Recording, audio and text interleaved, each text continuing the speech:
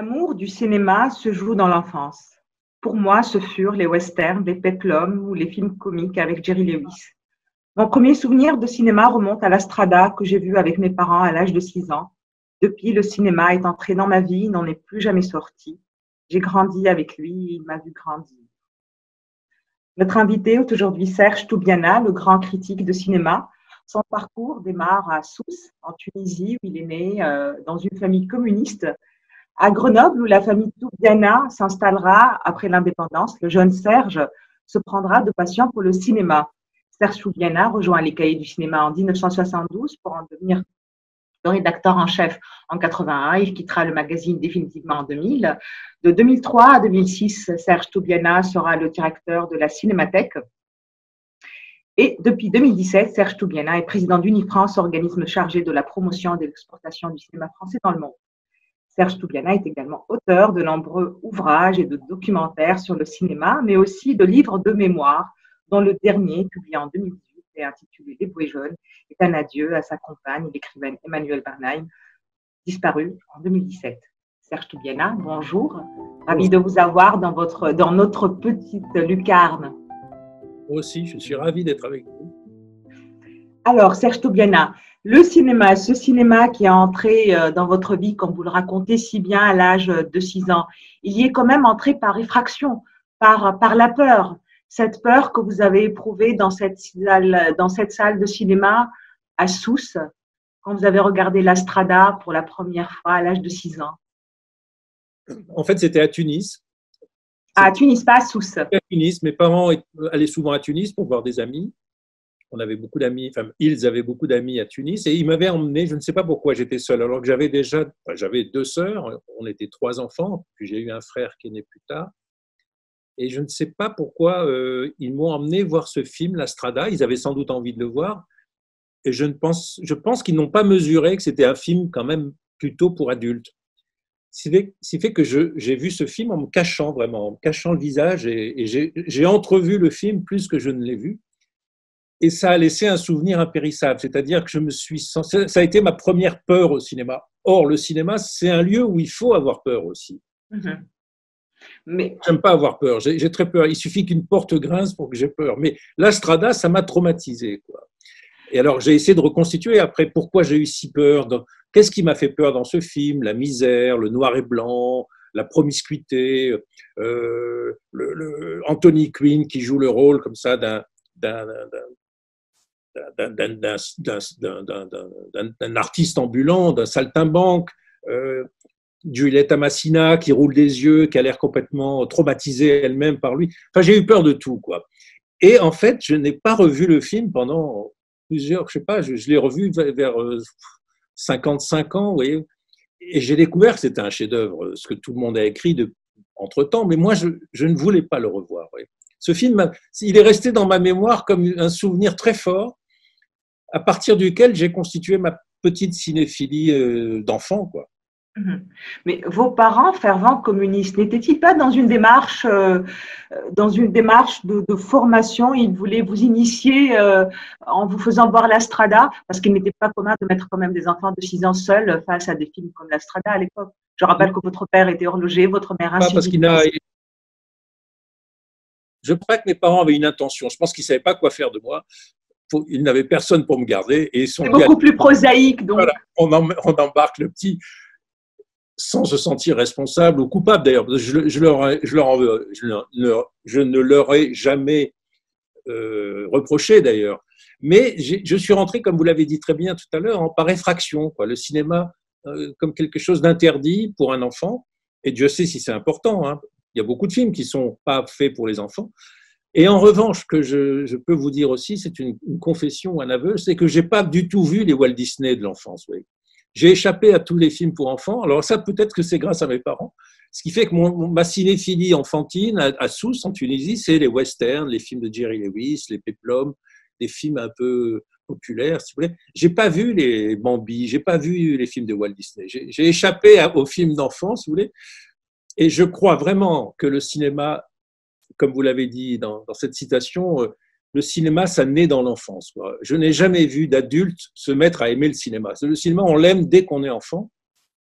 Et surtout, comment dire, on l'aime après pour, pour la vie. Quoi. Ça, ça reste comme, un, comme un, petit territoire secret, vous voyez, le cinéma. C'est quelque chose de secret.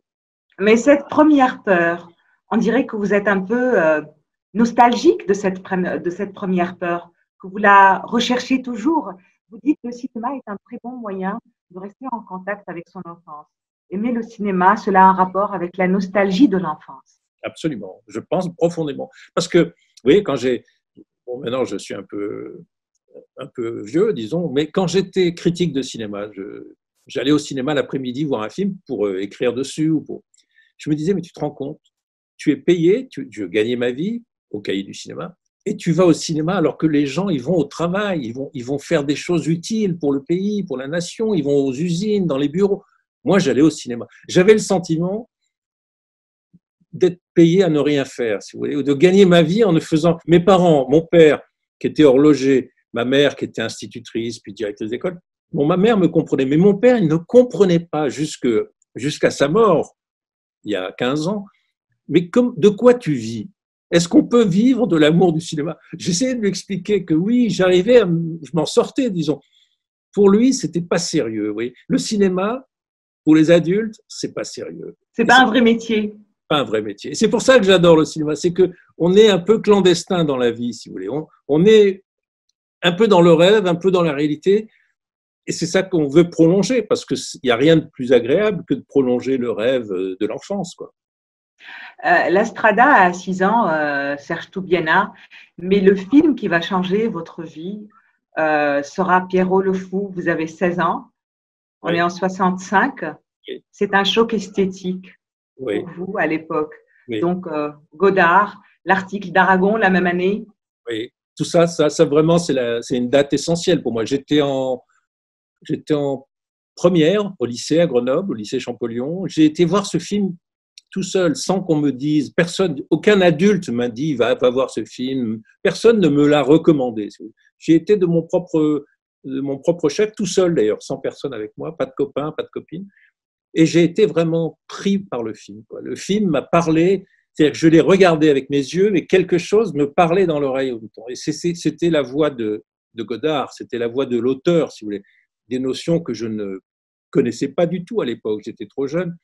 J'ai senti la puissance du cinéma, la puissance poétique du cinéma. Voilà, la beauté, l'image, la couleur, les couleurs, le bleu du ciel. Euh, Aragon, dans son texte, compare Godard à Delacroix, il compare à des grands peintres, et il a raison, parce que Godard est un artiste euh, très pictural. Hein. On le voit déjà dans Le Mépris, on le voit dans tous ses films. Il a un sens. Euh, dans, dans, Le Pierrot le Fou, il y a des tableaux de Renoir sur les murs, il y a, il y a, il y a la Marianne de Renoir. Il y a une référence à l'art il y a l'histoire de l'art d'Elifort que lit Belmondo dans sa baignoire. Si vous voulez, moi, pour un jeune homme, j'ai eu le sentiment que tout d'un coup, le cinéma était un art plein, quoi, aussi, aussi beau, aussi grandiose que la peinture, que la littérature, que la musique. Parce que tout ça, Godard arrive par une espèce d'art euh, du montage à, faire en sorte que le cinéma porte tous les autres arts. Donc j'étais subjugué. Voilà. Et, mais je ne comprenais pas tout, vous voyez, je ne comprenais pas tout. Entre-temps, euh, vous n'êtes plus à Sousse, vous êtes parti à Grenoble. Quel vent vous emmenez de l'autre côté de la Méditerranée? Oh, Qu'est-ce qui s'est passé? La Tunisie n'était plus accueillante? C'était en 1962. Mon père était horloger, bijoutier. Il avait des difficultés à, faire tourner sa petite boutique. Euh, il a décidé de, de, quitter la Tunisie. Il est parti un peu avant nous, chercher un travail à Grenoble. Pourquoi Grenoble? Parce que ma mère était fonctionnaire, donc euh, institutrice. Elle a été nommée à Grenoble, donc elle a été à Grenoble. Et je me suis retrouvé euh, ben, en juillet 62 à quitter un pays euh, où j'ai grandi, où je suis né, que j'ai adoré et que j'adore encore, pour aller à la montagne au-dessus de Grenoble. Donc pour moi, le dépaysement a été total. Et, et, je dis ça parce que c'est pas c'est pas une rumeur ni une légende, mais quand on a pris le bateau à, Tunis, pour faire la traversée, mes parents m'ont dit que j'avais dormi pendant toute la traversée. C'est-à-dire que j'ai vécu le, le fait de quitter la Tunisie, mon pays, de, le pays où je suis né, le pays de mon enfance, je l'ai, je l'ai vécu comme dans un, oui, un rêve. Je, je n'ai pas vécu la traversée. J'ai été, je me suis absenté. Et le choc a été très violent de me retrouver à Grenoble, dans les montagnes, euh, un, pays que je connaissais pratiquement pas, une région encore moins, la montagne, le froid l'hiver, faire du ski, pour moi, c'était complètement étranger à ma, à ma vie, à mon enfance, à, mes habitudes, si vous voulez. Donc, j'ai mis du temps à me, faire à, à, ce, à, ce, changement voilà, géographique. L'année de vos 16 ans, Godard se révèle à vous, mais c'est aussi l'année où vous faites votre entrée euh, au Parti communiste. Oui. Atavisme familial ou air du temps? Je pense que, je pense que j'ai dû fortement être influencé par mes parents. J'y suis resté trois ans au Parti communiste. Ça m'a apporté une formation euh, politique, idéologique, philosophique. Ça m'a donné des responsabilités, ça j'ai toujours aimé. Je crois que j'aime encore aujourd'hui les responsabilités, prendre des responsabilités pour les autres, avec les autres. Et puis je me suis rendu compte, euh, ça a pris du temps, que c'était une impasse totale. Voilà. L'engagement politique euh, n'avait pas de, comment dire, il a sa vérité pour ceux et celles qui y croient, mais moi, j'ai senti que ça, allait, ça entrait en contradiction avec ma, ma croyance qui est que le cinéma, l'art est, est au-dessus de tout. La, priorité, de, c'est le cinéma. C'est l'amour. Oui, mais à un certain temps, Serge Toubiana, vous êtes engagé dans l'extrême gauche et euh, ça a été une négation de votre passion pour le cinéma. Vous dites que le cinéma est devenu alors l'affaire de la petite bourgeoisie. Oui, j'ai vécu pendant quelques années dans une sorte de, de déni de mes, propres, de mes propres goûts, de mes propres plaisirs, si vous voulez. Ça a duré jusqu'à mon entrée même au cahier du cinéma en 72, vous l'avez dit tout à l'heure en introduction. Quand je suis rentré, entré au cahier du cinéma, j'avais 23 ans, les cahiers étaient devenus maoïstes, c'était une horreur pour moi, une horreur. J'ai passé des années euh, très difficiles à, aller à contre-courant de mes propres désirs, si vous voulez, d'apprendre le cinéma, de côtoyer les gens du cinéma, de, de devenir un, bon critique, un bon, journaliste. Et j'en ai, conclu depuis, et je n'ai pas changé d'avis, c'est que le cinéma et l'art en général ont une autonomie, si vous voulez, euh, tout à fait relative, mais, mais profonde par rapport au monde des idées ou des idéologies. Voilà. Je, je crois que le cinéma a besoin de liberté. Point. Voilà. À propos de cette période, vous parlez d'Armand gauchiste. Oui. Mais en vous lisant, en préparant justement cette émission, en vous lisant à propos du film Prima della Rivoluzione, ce film vous a, vous a, vous a épaté, vous a épaté le, le, jeune communiste de 16 ans que vous étiez. Mais oui. vous dites que vous l'aviez regardé 50 ans après, que vous l'aviez retrouvé intact. Oui. C'est là que je me suis posé, reposé tendrement une question sempiternelle chez moi. Guérit-on jamais d'avoir été communiste si jeune. Ça m'a rappelé une phrase que j'aime beaucoup de Régis Debré que je vais, je vais vous lire, je vais pas, pas m'en priver.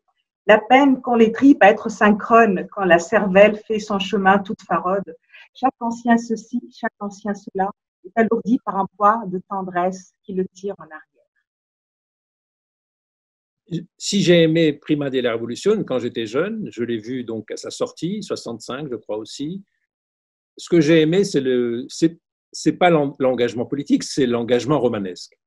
C'est-à-dire un jeune homme à Parme, la ville, la ville dont, dont est originaire Bernardo Bertolucci, c'est, c'est, c'est le, comment dire, le trajet romanesque d'un jeune homme, voilà. Et dans ce trajet romanesque, il y a l'engagement, les idées, le communisme, mais il y a surtout l'amour, il y a surtout la, et, et dans, dans, ce film, l'amour est quasiment incestueux puisqu'il est amoureux de sa tante. Et ce que j'ai retenu de ça et que j'ai aimé après dans les films de François Truffaut, par exemple, à travers Jean-Pierre Léaud, c'est l'apprentissage romanesque. Je, je, suis, euh, il y a ça dans la littérature, évidemment, chez Dickens, chez tous les grands écrivains, tous les grands romanciers, tous les grands narrateurs, mais il y a ça aussi sur euh, dans les dans les films que j'ai que j'aime, que j'ai aimé dans ma jeunesse et que je continue d'aimer. Cette idée que un homme, une jeune femme, un homme, un jeune homme, doit vivre sa, sa, son parcours romanesque à travers des expériences, des aventures, des amours, des désamours, des désillusions, des illusions. C'est plus fort pour moi que l'engagement idéologique, si parce que les idées changent. Vous voyez, aujourd'hui, l'idée communiste n'est plus possible comme elle l'était peut-être encore dans les années 60. Elle, elle, ne vous attendrit pas? Non, plus du tout. Bah, a pris conscience aussi de, de ce que le communisme a généré comme euh, catastrophe et comme cauchemar. Le goulag, bien sûr, euh, la, révolution culturelle en Chine, à laquelle j'ai cru dans ma jeunesse et à laquelle aujourd'hui je suis obligé de dire qu'elle a été quand même un vaste euh, chantier de, de crimes. Quoi. Voilà. Euh, vous, vous, quittez le parti euh, définitivement en 68, mais pour que vous retrouviez le goût du cinéma, il vous a fallu euh, une très longue période. Là, vous parlez, vous qualifiez cette période de longue, difficile et rugueuse. Oui, c'est parce que en 68, 69, 70, j'étais à Grenoble. On, était toutes des bandes de jeunes, on se, fréquentait dans les groupes politiques, on, allait au café ensemble, on allait au cinéma ensemble. Il y avait des, hommes et des femmes. Les rapports entre les sexuels, amicaux, amoureux étaient faciles hein, à cette époque. Il y avait une forte promiscuité entre nous et on aimait beaucoup ça. On s'interrogeait sur notre avenir. On n'avait pas peur du chômage, contrairement à l'époque qu'on vit aujourd'hui. On se demandait quoi faire, quelle était notre vocation, vous voulez, à quoi on aspirait. Moi, la seule chose qui me m'animait, c'était le journalisme. Vous voyez, je voulais être journaliste, mais c'était très abstrait. Quand je disais ça à mes parents, ils y croyaient pas d'ailleurs. Donc, je, je me suis laissé, je me suis donné du temps. On avait le, ce luxe d'avoir le temps de, de, se laisser aller et de trouver peu à peu sa vocation. Et moi, j'ai eu une espèce de, sursaut en 60, 71. J'avais donc 22 ans et je me suis dit, mais évidemment, c'est le cinéma. Mais où est-ce qu'il y a du cinéma? Où est-ce qu'on apprend le cinéma? À l'époque, c'était à Paris. Il fallait immanquablement venir à Paris. Donc j'ai dit à ma mère un jour, maman, je vais aller à Paris. Elle s'est mise à pleurer, ma mère, parce que j'allais la quitter. J'ai effectivement quitté mes parents et je suis venu vivre à, Paris pour aller m'inscrire à, Paris 7, à Paris 3 ou à la Sorbonne pour apprendre le cinéma. Mais oui, Donc finalement, finalement c'est votre désillusion politique qui va réconcilier avec le cinéma? Exactement, exactement. Oui, donc il faut quand même que c'est comme les, les verres à moitié plein ou à, moitié vide, il faut quand même remplir son, verre son, pour essayer de, de, de, de, faire naître et de cultiver en soi une passion, une passion euh, qui va vous, vous prendre, vous occuper pendant des années et des années. Et ça, pour moi, c'était le cinéma. J'avais pas d'autre choix. Voilà. Mais aussi à l'époque de votre entrée au, au cahier en 72, euh, les cahiers, contrairement à Positif par exemple, ne couvraient pas du tout le cinéma américain. Était-ce par défiance idéologique? Absolument. Les cahiers étaient complètement euh, maoïstes, si vous voulez.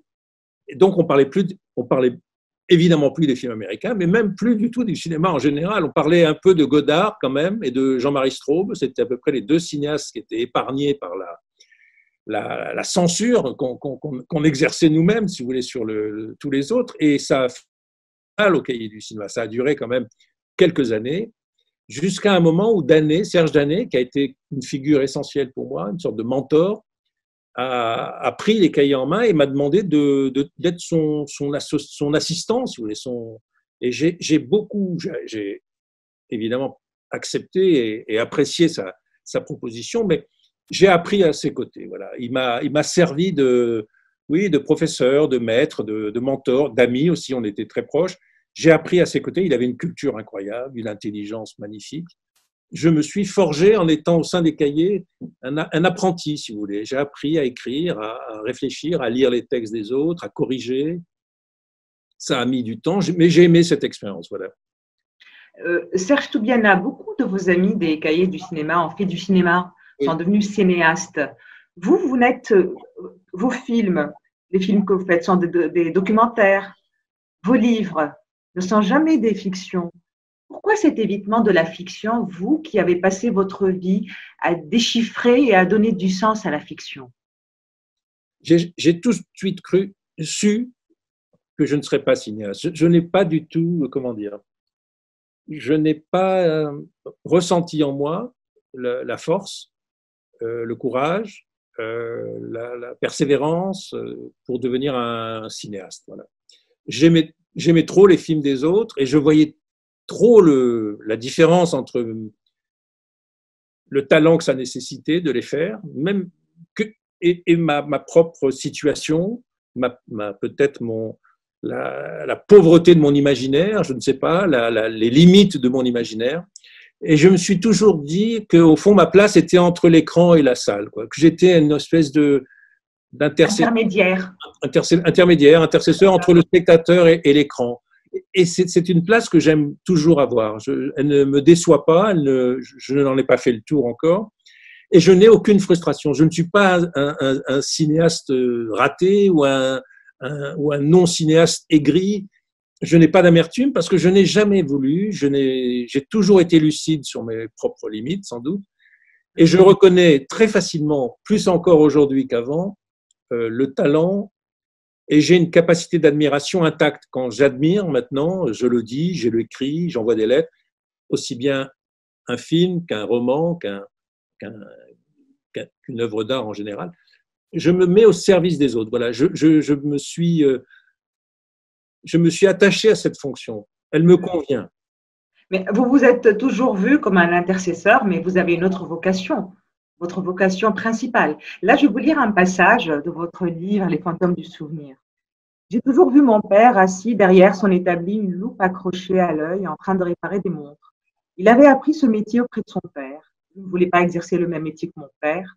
Aussi, ai-je raté l'examen d'entrée de manière délibérée vous ne vouliez pas devenir réparateur, mais vous l'êtes devenu réparateur, Serge Toubiana, réparateur d'institutions défaillantes, des cahiers, la cinémathèque. C'est vrai. Cette métaphore que vous citez dans mon livre, j'ai mis du temps à la, saisir. Que mon père, effectivement, j'ai toujours vu mon père en train de, avec un œilleton, en train de réparer des montres.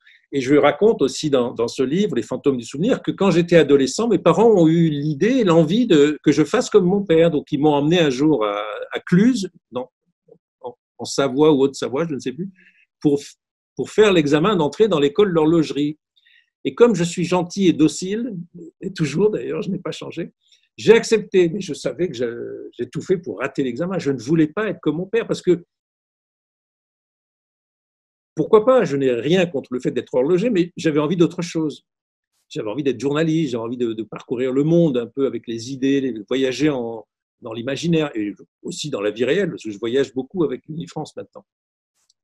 Et donc j'ai raté mon examen. Mais j'ai compris très tard qu'au fond, réparer une montre ou réparer un film, c'est la même chose. Parce qu'un film, c'est un mécanisme d'horlogerie qui fait que le film existe. Ça, je l'ai su assez tard en m'intéressant aux frères Lumière et, à l'invention du cinéma, mais un film, il n'y a pas de film de bobine sans, le mécanisme d'horlogerie qui l'enclenche, qui le déclenche. Donc j'ai vu une métaphore possible et je m'en suis voulu de ne pas avoir parlé de ça avec mon père, voyez. Dans ce même livre, Les fantômes euh, du, souvenir, vous nous racontez la vie de rencontre qu'a été euh, votre vie. Oui. Quelles ont été les rencontres les plus, euh, les plus marquantes? Était-ce Demi et sa mélancolie, euh, Piala, sa rugosité, euh, Eustache et son désenchantement. Truffaut, beaucoup, Truffaut, François Truffaut en 1975. Ça a beaucoup marqué ma vie. Godard, bien sûr, que j'ai rencontré souvent et avec qui j'avais une relation assez, assez sympathique. J'arrivais à, le faire rire. Euh, Eustache, vous avez raison qui nous en a beaucoup voulu de, l'avoir euh, moins soutenu à l'époque politique dont, on parlait tout à l'heure.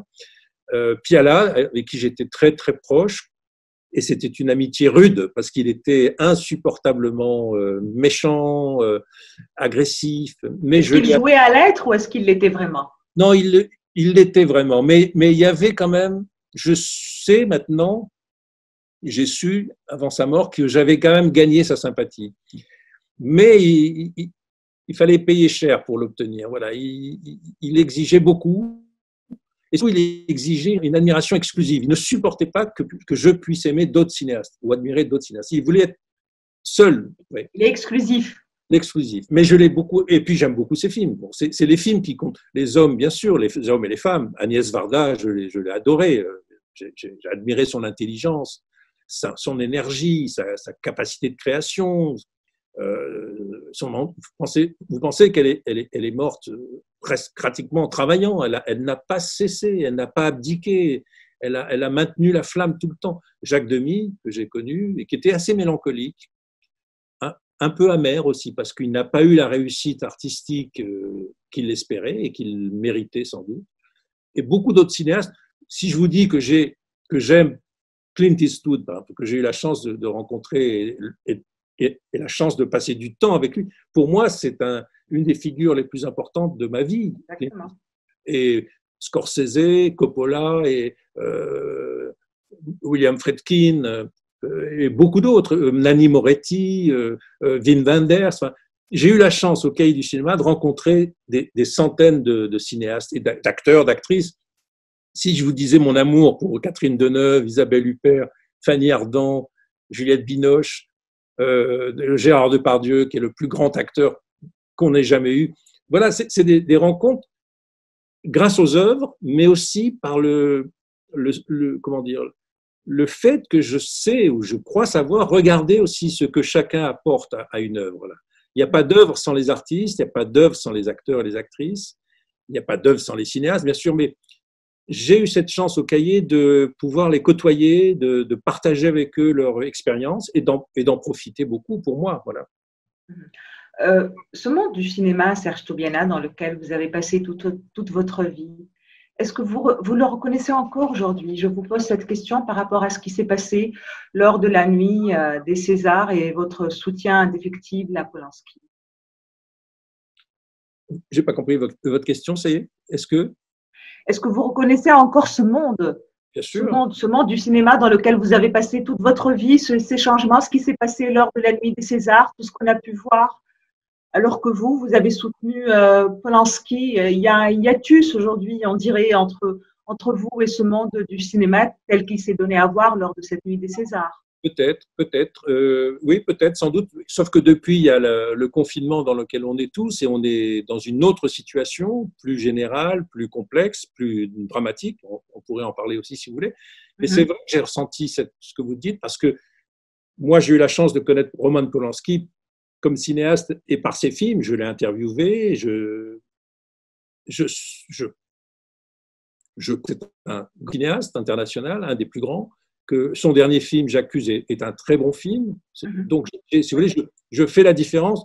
Je ne suis incapable d'avoir un point de vue ou un jugement sur euh, euh, l'activité, l'homme euh, et, ce qui lui est reproché. Ce que je sais, ce que je ressens, c'est que ce qui lui a été reproché il y a plus de, plus de 40 ans me semble être soit déjà jugé, soit, soit soumis à ce que j'appellerais la loi du pardon il faut pardonner. Un homme a fait des erreurs, il l'a reconnu. La victime l'a reconnu aussi elle-même. Il faut passer à autre chose. Voilà. Il y a, un droit, il y a un droit à, non pas à l'erreur. On a, tout le monde fait des erreurs, mais si l'oubli. Oui, au pardon. Voilà, au pardon. Je, sais si je suis athée, mais je crois au pardon. Après, euh, je, je n'aime pas la chasse à l'homme. Je n'aime pas quand, quand on ne laisse pas sa chance à quelqu'un supposé coupable le droit de se défendre. Et c'est vrai qu'aujourd'hui, les réseaux sociaux sont devenus une sorte de tribunal permanent où on met en pâture euh, quiconque, un homme politique, une femme politique, un, artiste, quiconque peut se devenir la victime d'une cabale sans pour autant pouvoir se défendre. Voilà, c'est tout. Je, fais attention à ça, mais euh, je garde mon estime pour Roman Polanski. Et si euh, et je constate qu'il n'est pas justiciable en France aujourd'hui. S'il mhm. l'était, il devrait répondre à ce qui lui est reproché, mais il ne l'est pas. Voyez Donc, je ne vois pas pourquoi je me substituerais à la justice. Sur ce cas-là, comme sur d'autres d'ailleurs, la justice, elle est là, et je dois, nous devons lui faire confiance. Ne pensez-vous pas que l'approche confessionnelle, confessionnelle entre guillemets, qu'il y a eu de cette affaire Polanski, quand Pascal Bruckner parle de premier pogrom féministe après la, la Seconde Guerre, a fait du tort à cette affaire? N'aurait-il pas mieux valu parler de, euh, moraline ambiante, euh, d'anachronisme des mœurs? Moi, je, suis, pense que la, la, formulation de Pascal Bruckner est plus que maladroite. Elle est, erronée, elle est maladroite, elle est fausse, elle est dangereuse, y compris pour. Elle est contre-productive surtout. Pour Roman Polanski, elle est contre-productive. Le film n'a rien à voir avec l'affaire Polanski. Le film, c'est pas, c'est pas un film sur Polanski, c'est un film sur euh, Dreyfus. Et c'est ça qui, qui, fait que le, le, public a aimé le film et il a, il l'a aimé comme moi parce qu'on y a appris beaucoup de choses. Moi, je connaissais l'affaire Dreyfus de façon euh, un peu scolaire, si vous voulez, parce qu'on nous a appris cette affaire quand on était petit. Mais là, j'ai vu des choses. Je, suis rentré dans le dossier, si vous voulez. Par exemple, je ne savais pas que, que Picard avait été ministre. Euh, je ne savais pas. Je ne savais pas que Picard était antisémite et qu'il a défendu Dreyfus. non pas pour, par philosémitisme, mais pour défendre l'honneur de l'armée française. Des choses qu'on apprend et que le film vous, vous, met, vous, vous fait comprendre, vous fait sentir. Bon, voilà. Je pense que il faut séparer les choses et je pense que si, si Roman Polanski a fait ce film, c'est parce qu'il il avait ce projet depuis longtemps, qu'il y a investi son travail, son talent, celui des équipes. C'est un film qui a coûté beaucoup d'argent. Il ne l'a fait en aucun cas pour se justifier lui-même. on ne fait pas des films pour ça. Le confinement, Serge Toubiana, que regardez-vous pendant ce confinement? Alors, je vais vous dire, d'abord, trois choses. Ma journée est très, je m'organise beaucoup. Le matin, j'écris. Je viens de terminer un livre. Je suis très content. Un livre de mémoire? Non, non, un livre que j'ai proposé à une amie que vous devriez interviewer, c'est Nathalie Azoulay, qui est une romancière. Et je lui ai proposé, parce que je suis tombé fou amoureux à, Noël des films de Ozu, le cinéaste japonais. Et j'ai mhm. proposé à Nathalie Azoulay, qui adore le Japon et qui adore Ozu, d'écrire un livre ensemble, à deux, euh, chacun regardant un film d'Ozu chez soi, et on s'écrit, on s'écrit par mail les, nos impressions, nos sensations, nos, nos sentiments. Donc, on a fini euh, avant-hier un livre sur 21 films d'Ozu et je suis très heureux parce qu'on l'a écrit en grande partie pendant le confinement. Après, je fais des réunions comme on le fait à, l'instant avec vous-même, euh, avec Unifrance. Unifrance, nous travaillons, nous avons des commissions. Ce matin, il y avait une commission, hier aussi. Donc, on travaille par Zoom. L'après-midi, je lis à la recherche du temps perdu. Enfin, à mon âge, c'est un euh, Proust est le plus grand des confinés, c'est le meilleur des compagnons pour un confinement.